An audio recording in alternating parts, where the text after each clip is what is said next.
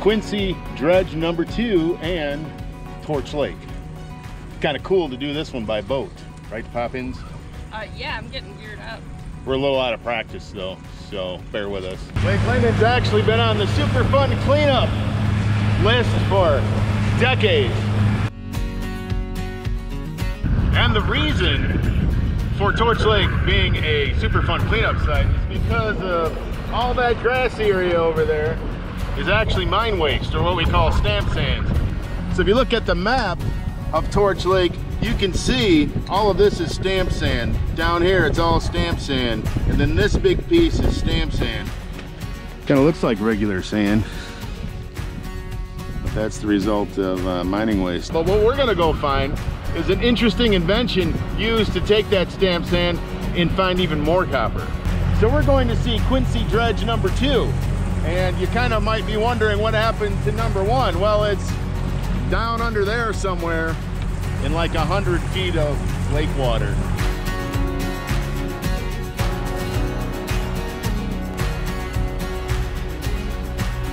So that over there is a smelting plant.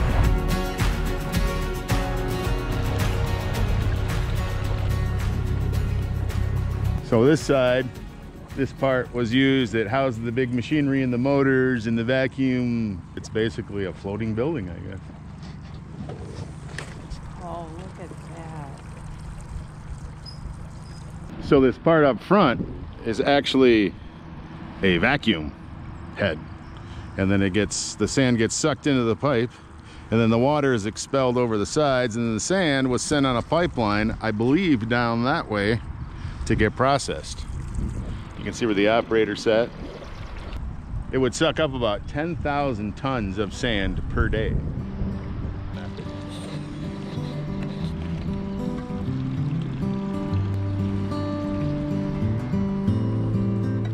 Poppins wants to get away from the leaning structure. I don't know why. Precarious. So yeah, the Quincy Dredge number two.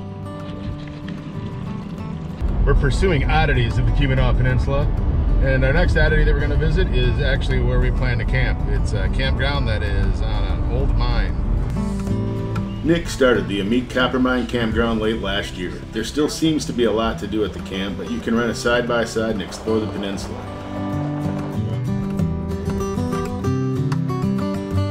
The old Ahmeek mine officially opened in 1903 and was a hub for transportation on the peninsula. It closed in 1966. You can explore the ruins of the camp and head to nearby Mohawk for some food and drink. It's centrally located to all the obscurities of the Keweenaw Peninsula.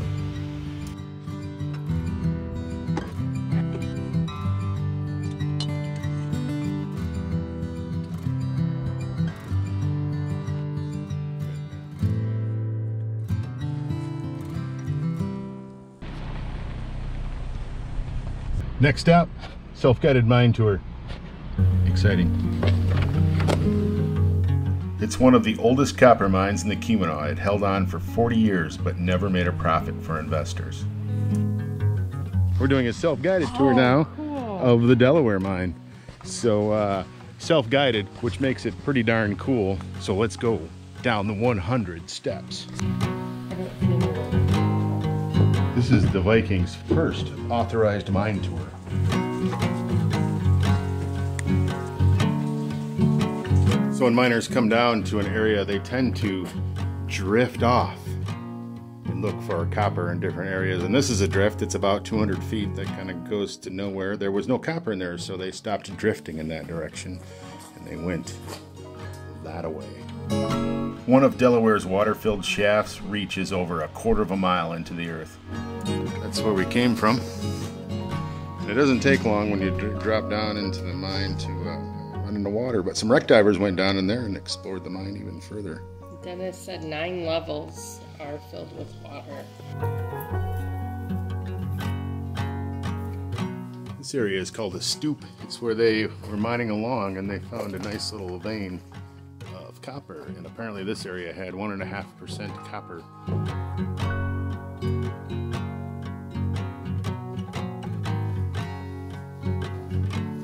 Then the tour turns spooky as we enter the area that's lit as it would have been in the 1870s. Then you come to the end of the line. So that was the Delaware Mine Tour. On to our next obscurity. Right, Poppins? I'm a little out of breath from walking upstairs again. So now we're headed to Gay, Michigan, where there's a famous bar, world famous bar, as well as the Gay Sands on the shore of Lake Superior, where stamp sand was dumped in the lake. Apparently it's an environmental hazard today, but it's also cool to drive on. Um, so let's go visit that. It's not every day you find a place that's nothing but pollution. That's a tourist attraction. We're at the Gay Sands. The Black Shore juts out into Lake Superior on a scale that was a bit more unsettling than I expected.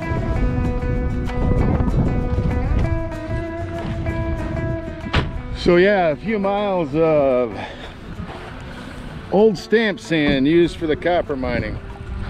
And you can come out here with the right vehicle and just kind of drive on it. And then there's beautiful Lake Superior, so it's kind of like an industrial beach. And I think the old stamp mill might be over there where the smokestack is. And then all this waste, as far as the eye can see that way, is all the waste from the stamp sands. The stamp mills operated until 1932 and dumped a combined 25 million tons of stamp sand in Lake Superior. The Black Beach has crawled south since then, swallowing everything in its path, including Buffalo Reef, a former spawning haven for lake trout and whitefish. Poppins is insisting on being a little more adventurous. I want to check out the uh, stamp mill right here.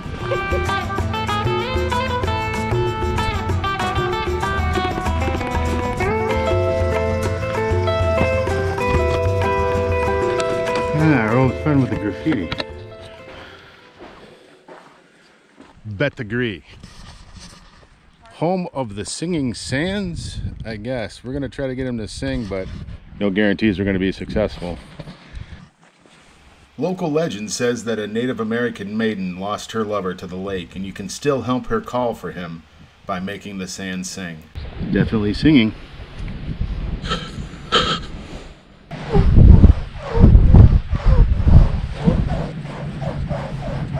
The sand does seem to have a low bark if you stir it a bit. Get your pants away! Poppins Adventure Pants. They dry quickly. I'm gonna write a book about her sometimes. Sweet Poppins and her adventure pants travels. So a trip out to the end of the Keweenaw Peninsula is kind of obscure. Uh, Poppins is being a good sport. She's getting tossed around. High Rock Bay is one of those places that's difficult enough to get to that most tourists stay away. I guess I should pop her in four-wheel drive. That was kind of close. But it is unique enough that a casual adventurer has to journey to the tip of the Keweenaw for bragging rights and for the great view.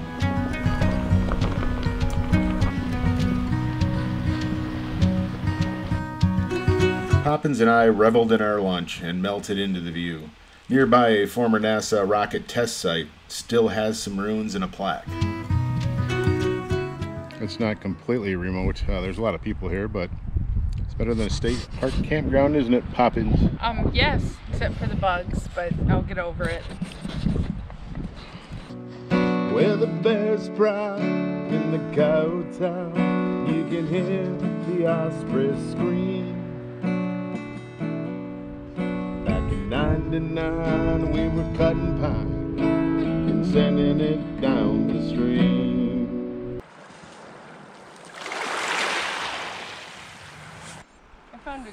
Over there. Here we are launching the boat, going to Copper Harbor Lighthouse. And he's off to park. I'm holding the boat with my foot. Let's hope there isn't a precarious situation. The uh, bug nets have a nice feature with a big zipper right here at the neck. There's a mosquito now. They're my evil villains. So one of the unique uh, oddities that you can visit is the Copper Harbor Lighthouse, but apparently you can't drive there because the road is closed to the public.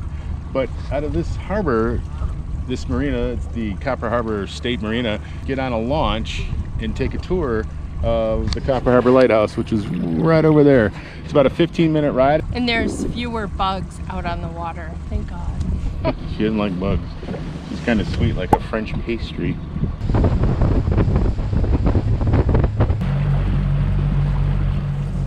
So I do believe this is the dock where the launch comes, and uh, we got to find a spot that's not that dock.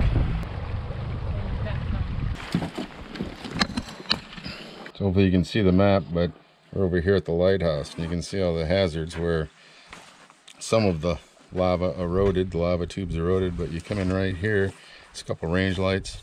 So the area was uh, first discovered by Douglas Houghton. Brought a party up here, an expedition party, and uh, they explored the area and they found copper, lots of copper.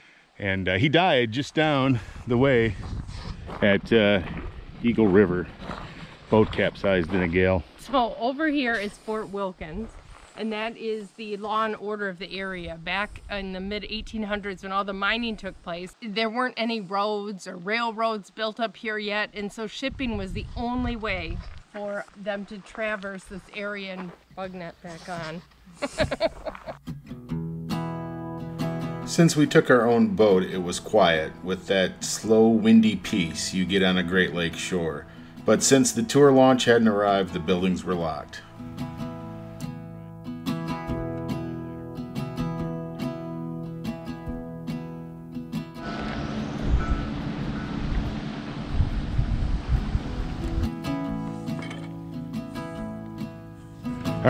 Let's head back. Um, that was uh, the uh, Copper Harbor Lighthouse. Not easy to get to. Pretty cool though. So here's the buoy that we uh, heard from uh, the lighthouse.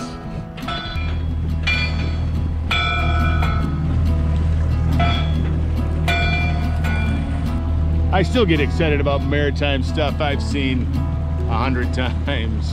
I'm kind of a dork like that. Up next is the Devil's Wash Tub along the shores of Lake Superior. So let's go check it out. Some call it the sloshing whatnot. It's a blowhole that's endlessly exciting during rough seas, and a sloshing not much during calm weather. Where are we at, Poppins? We're at the Devil's Wash Tub. Did you bring me here to do laundry? Oh gosh, no. Cold Lake Superior water kept us from swimming in it today, but Ingrid stopped by. She goes to college nearby and was showing her family the sights. So who's Ingrid? Are you Ingrid? So Ingrid here has jumped in the lake and swam in to the wash tub. You must go to, uh, do you go to school up here, live up here? Are they come, did they come up to visit? And you're showing them all the things you shouldn't do that you've been doing? I think we're going to stop at the jam pot, uh, mostly because Poppins wants to stop I've actually never been there, but uh, it's not really the style of the channel to go check out places like the Jam Pot because everybody goes there. But you know what? We're gonna go there too, and then we're gonna do one of those YouTuber sampler food things in our vehicle after we get something there, and we're gonna talk about how lovely it is and kind of analyze it. So um, off to the Jam Pot. So apparently there is no line at the Jam Pot. I guess there usually is, but it's uh, 20 minutes before they open, and we're here. So uh, here we are. In 1983, a couple lay Catholics living in Detroit explored the UP and found a small rundown resort. They bought it and developed the Holy Transfiguration Skete, a Byzantine Catholic monastery. They have supported the monastery selling jams and baked goods at the Jam Pot. And they weren't even priests when they came up here, but it was a vision. And uh, Okay. they came up here and land was cheap and it, it was remote. Yeah. And you know, most monasteries in the world are kind of in remote places, you mm-hmm. know. So they came up here basically nothing. We got our vittles from the Jam Pot, but that's not the obscure, unique part. We're going to do that a little later. So what did you get, Poppins? We have a nut mix, caramel cashew for me. and then for my favorite father, gooseberry jam. May the skin of the gooseberry always cover, Cover the the- eyes of your enemy. Yep. So we're gonna head out and we're gonna come back tonight for some fun. One of the founders, Father Basil, passed away last November. Three monks are left, and since their church belongs to the Ukrainian metropolis, they are actively seeking monks from Ukraine. We attended their evening prayer, so if you get a chance, stop by for one of their public services. It's an enlightening treat.